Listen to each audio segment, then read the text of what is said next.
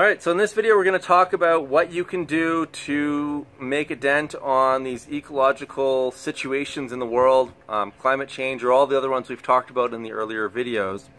Um, I'm sitting in front of my house right now, and about eight years ago we completely retrofit the house. We moved it from about an R8. Uh, R value is the amount of insulation in the wall, the amount of resistance towards leaking thermal energy from the building. Um, we moved it from about R8 to R30, um, and in doing so, we cut our energy consumption um, by about a factor of 10. Now, we didn't just change the walls, we also put in new windows, triple glaze, fiberglass windows. We added um, about R50 into the ceiling, so we've got a total of R60 right now. Um, we took some windows out, we put some windows back in. Um, and the house is just so much more comfortable. So, like I said, we use about a tenth of the energy now.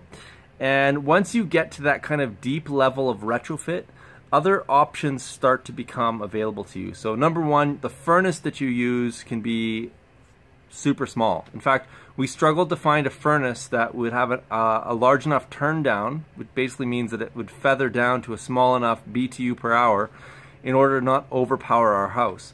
Um, so that's interesting. So you can use a smaller furnace. Generally, smaller furnaces are cheaper than bigger furnaces. Plus, they use less energy. Um, number two, you can start to use things like solar thermal to provide supplementary heat for your house. Now, solar thermal won't help in these northern climates when we get into the depth of the winter, like December, January, and February. But in the shoulder seasons, we can make a significant dent on house heating um, if there is any required, depending on how you've retrofitted your house. Um, so reducing the thermal energy from your house has lots of benefits, um, you know, personally for personal comfort inside. But the main one that we're talking about in this video series is that if we have to burn less energy, um, we're producing less GHGs. Um, and generally that is going to be good in terms of managing that contribution to climate change. Um, it can be quite expensive to retrofit these houses, and so I generally don't focus on the GHG reductions or the climate change benefit when I'm dealing with my clients on this stuff.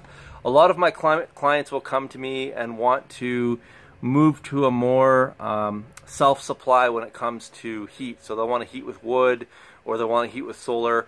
And so it's really difficult to uh, have a self-supply of thermal energy if your house is not inefficient. And what's crazy about the houses in Canada, especially in the cold parts of Canada, is that the majority of them that were built in the 1950s, 60s, 70s, 80s, 90s, even some in the 2000s, I mean, we only have a marginally larger amount of insulation in our walls than houses in California, which is completely insane. I mean, it gets to minus 40 here.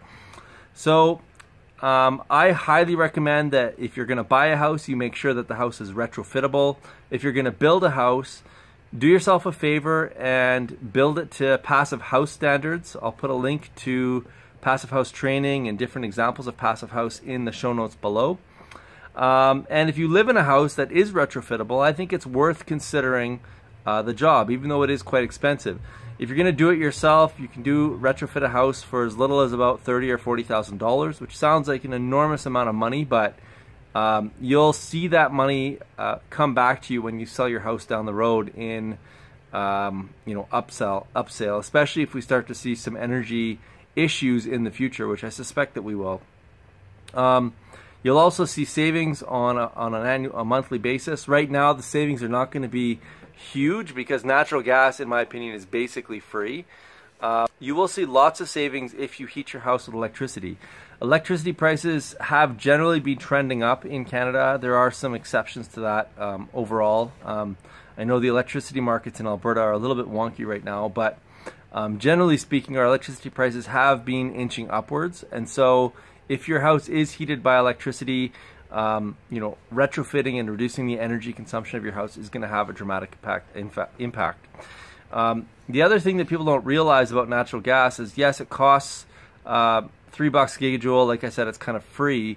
But if that gas is coming from wells that have been fracked, you're also having uh, you're creating impact on ecological consequences in the extraction of natural gas and or fossil fuels.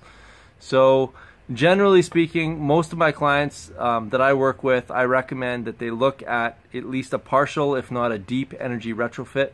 Um, first for comfort, second for the expense of their pocketbook, um, and uh, and or the ability to self-supply with thermal energy, either with wood fuel or with solar electricity or solar thermal. So if you found this interesting and you want to learn more about this stuff, check out our website at vergepermaculture.ca. Make sure you like the video below if, it, if you liked it, and uh, subscribe to our channel. I'll also put a link to a free Introduction to Permaculture course in the show notes below and in the final title card on the video. Thanks so much. Have a great day.